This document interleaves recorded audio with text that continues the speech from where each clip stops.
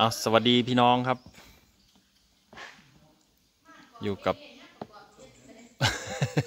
ครับเหมือนเดิมครับวันนี้น้อยการช่างครับ มาติดตามพาพี่น้องมาดูเทเลอร์ไล่เบาครับ 12 ล้อครับ เสีย จิรวัตรครับผมแกบอกว่า ตั้งใจมากครับสำหรับคันนี้ ตั้งใจทำครับ โอ้ดูดีไซน์ครับ ไล่เบาครับไล่เบา ดูกว้างๆไปเนาะดูตรงนี้ ตรงนี้ช่องช่องจะว่าง ต้องขยับเข้ามาข้างหน้าอีกหน่อยเนาะต้องเอาให้ตัวนี้มันอยู่ รงนี้ครับ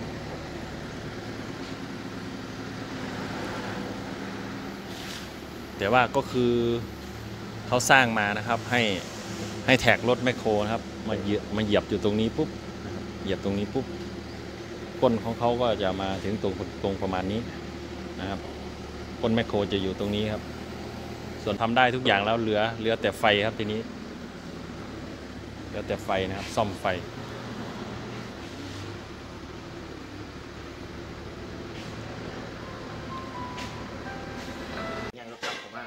ขั้นใดพันร้อยสี่สิบนะครับโอ้ใหญ่ขนาดเขามาสรุปเที่ยวจะคล้องที่แล้วก็ยิดอื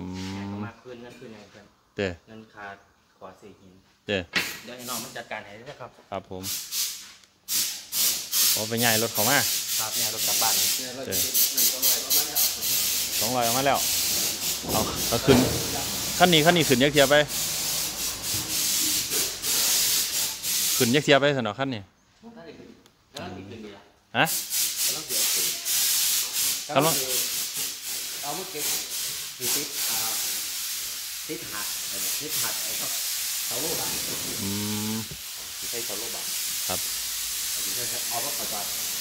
รอบแรงน่ะถึงไม่ใช้เสาโลบะรับไปไปครับป้าบใส่ใส่แล้วมันคือบ่สั่นวะเนาะมันคือเหย้าสักแค่ใส่ใส่หางมาแล้วมันคือเหย้าแต่ว่าเนาะบ่สั่นเด้เนี่ย ที่แรกบ่ท่านใส่หางมันส่งสั่นๆเนาะรถเนาะครับวันนี้ใส่หางเข้าไปเราว่างถาดใส่เข้าไปเราเหย้าเงาเออเดี๋ยวนี้ได้เท่าไหรหรอน้ำหนักมันไม่ได้สั่งเลยครับมันจะสั่งใหม่สั่งอย่างทุกวันใช้หัวได้มากเลยอืมตั้งใจเราก็ได้ตักใจปั๊บเดี๋ยววางไม่ตัวเลยแล้วให้โค้งไปนั่งไฟเดียวเอาเตียงเลยคือส่งโอ้โอ้ดีสิบห้าเทอร์โบครับจำจำๆเลย นะครับแท็กของรถแมคโคร200 นะครับ ก็จะยาวไปถึงตรงนั้นครับ มาถึงตรงนี้ครับ พอวางมือลงนะครับ ก็ไปถึงนั้นก้นก็มาถึงตรงนี้พอดี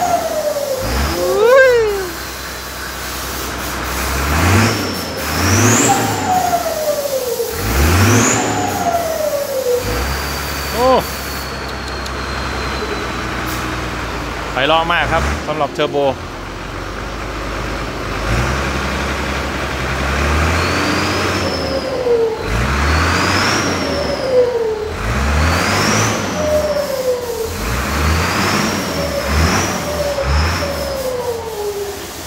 โอ้ ดังดีเนาะ ฮะ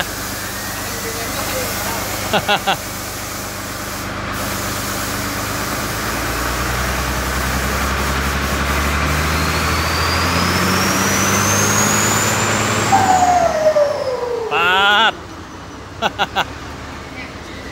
ฮะ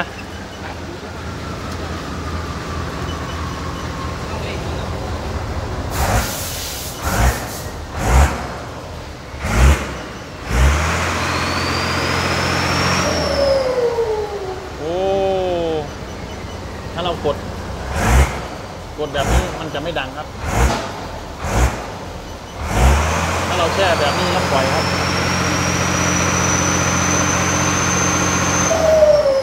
โอ้ เห็นไหม ถ้าเรากดแช่แล้วปล่อยแล้วมันจะดังครับ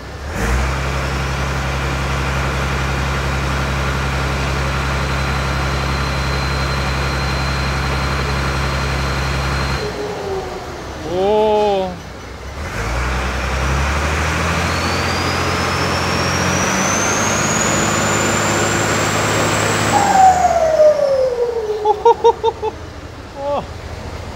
เห มือนกับเทอร์โบแบบเขาไม่ได้ตั้งให้บูทบูทบูทเร็วครับ ให้มันให้มันรอบมันเดินไปนานๆก่อนนะครับ ค่อย เวลามันจะหมุนค่อยๆหมุนขึ้นครับเทอร์โบมันจะแบบเอ้ออธิบายยังไงวะอธิบายแบบว่าคล้ายๆกับเทอร์โบนี่มันจะค่อยๆหมุนเบาๆขึ้นนะครับ เบาขึ้นแล้วมันหมุนได้รอบปุ๊บถ้าเราปล่อยคันเร่งมันค่อยจะ ดังนะครับค่อยจะหอนน่าจะเป็นแบบนั้นครับ ผมเดาครับ ผมเดา ปกติถ้าอย่างบางคันนะครับ ถ้าเรากดอย่างนี้ครับ กดปุ๊บปุ๊บเร็วๆอย่างนี้ถ้าเราปล่อยอย่างนี้มันจะปู้ปู้ปู้เลยนะครับ กดลงก็ปู้เลยนะ แต่นี้มันไม่ดังครับ ถ้ากดแบบนี้ไม่ดังครับ ถ้ากดแบบนี้ไม่ดังครับ ถ้ากดแค่ครับ แบบนี้ครับแล้วปล่อยจะดังครับ โอ้ต่างกันอยู่พี่น้องนะเดี๋ยวพี่น้องคงอยากจะเห็นเทอร์โบครับว่ามันเป็นหน้าตายังไง เดี๋ยวเรากำลังจะเปิด ดูให้พี่น้องดูเทอร์โบครับ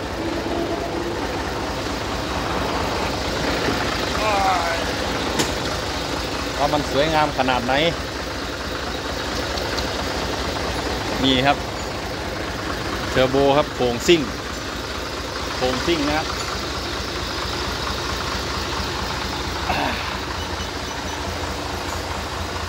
เดี๋ยวขอลองให้พี่น้องฟังเสียงหน่อยจำๆเลยครับ แบบนี้ ดูว่ามันจะมีรั่วออกตรงนี้ไหมเนี่ยกระป๋อง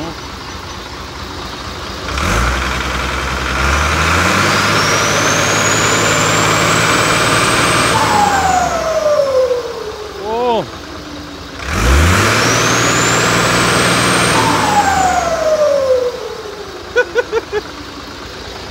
ก็ไม่ ออกมานะ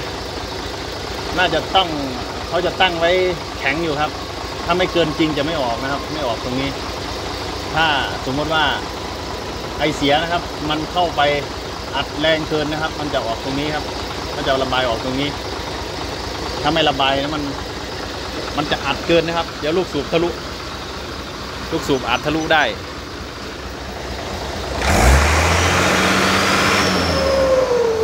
โอ้ย ดังดีอะ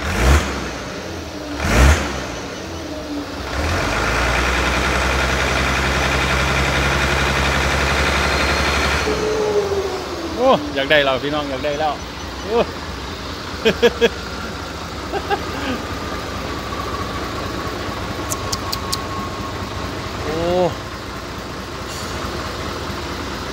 อยากจะได้แบบนี้แหละครับสักคัน เดี๋ยวผมจะหารถมาทำครับ สเปคก็คือแบบนี้เลยครับ ไม่ต้องการเครื่องใหญ่นะครับ ต้องการเครื่องประมาณนี้นะครับ ถ้าเป็นถ้าเป็นฮีโน่ก็ประมาณสัก ก็ประมาณสักร้อยเก้าห้าลงมาครับ ถ้าเป็นฮีโน่ประมาณสักร้อยเก้าห้าลงมานะครับ เป็นพวก HO7D HO7C ก็ได้ หรือว่าเป็น EH 700 ก็ได้ครับ เป็นเพาเดียวนะครับ แต่ว่าขอให้เป็นชัดซีแบบสวยๆหน่อยครับ ราคาไม่แรงเกินนะครับ เป็นเครื่องก็เครื่องยังโอเคนะครับ ผมจะหาซื้ออยู่ครับ ถ้าพี่น้องมีเบาะแสก็ช่วยบอกหน่อยนะครับเพาเดียว อยากจะมาทำแบบนี้ครับ พอดีพอดีเลยครับ ไม่บอท่านขึ้นล่องเบิ้งมาเนาะพ่อส่วนน้ำหนักนะครับผมน้ำหนัก ตอนนี้นะครับให้ผมเดานะครับ ยังไม่เกิน 8 ตันแน่นอนครับ ยังอยู่ประมาณตอนนี้นะครับ อยู่ประมาณ 7 ตัน 7 ตัน 7 ครับ ประมาณ 7 ตัน 7 นะครับ เดี๋ยวผมมีมีรูปตอนที่เสียเอาเอาตัวเจ้า 12 ล้อนี้ไปชั่งนะครับ แต่ว่ายังยังไม่ได้วางถาดอันนี้ขึ้นขั้นบนนะครับ ยังไม่ได้ใส่วางถาดอันนี้นะครับ มีรูปที่แกถ่ายมาแล้วก็ถ่ายตอนรูปขึ้นตาช่างนะครับ มาให้ดูอยู่ครับ ดี๋ยวผมจะให้พี่น้องลองเอาไปวิเคราะห์ดูครับว่ามันหนักเท่าไหร่ เพราะว่าตัวนี้ผมว่าไม่หนักเกินเกินตันสามครับ ไม่เกินตันสามหางปลานี่ครับ หางถาดนี่ครับ ไม่เกินตันสามแล้วอันนี้มันหนัก ตอนนี้มันหนักอยู่ที่หกตันหกตันสี่ครับนี่นี่ครับตัวรถนี่หกตันสี่ตัวรถนี่หกตันสี่ครับ ไม่รวมถาดอันนี้ครับ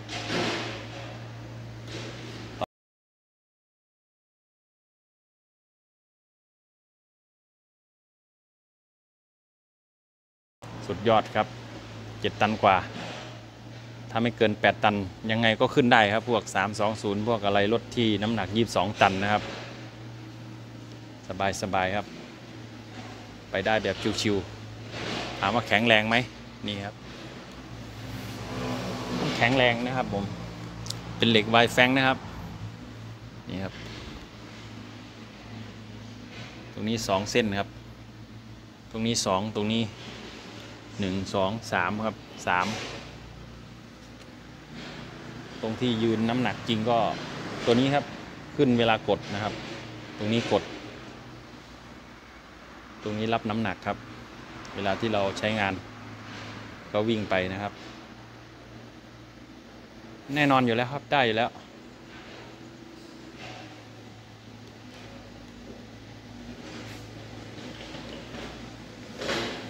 ตัวนี้ก็กดลงมาก็ถึงพื้นพอดี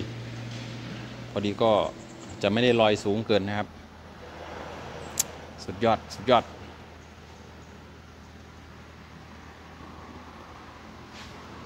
ตรงนี้ผมนึกว่า อ่า ผมนึกว่าป้าแกจะ ว่างเอาไว้เลยนะครับ ไม่ใช่นะครับ ผมจะใส่อยู่นะครับ แต่ว่าจะเป็นเหล็กที่บางๆนะครับ บางเลย มาตรงนี้ ถึงตัวนี้ป่ะพ่อถึงตัวนี้ขึ้นมานี่คือกันวะสามารถจะทำให้สามารถแยกเอาแยกชิ้นส่วนได้ครับ ตรงนี้นะครับ แยกชิ้นส่วนได้บางทีอาจจะเป็นใส่ถ้าไม่ใส่ซะเลยมันก็อาจจะดูไม่ไม่สวยครับ เป็นจริงเฮงเนาะเป็นคือยังสิข้อหักนี่วะดิ ย่ำขึ้นแล้วเนาะไอ้บางที่ใส่เคียนใส่เงียบไปอีกนะอืมมองการไกลดีมันยังมาเสียดอกอ่าอืมเยี่ยมเลยพี่น้องเออก็เลยแอมมายกพอยกของครับ งานว่างพอกันเยี่ยมเลยเยี่ยมเลย เครื่องดีเนาะพ่อเนาะเครื่องเนาะเครื่องได้งามดีว่ะ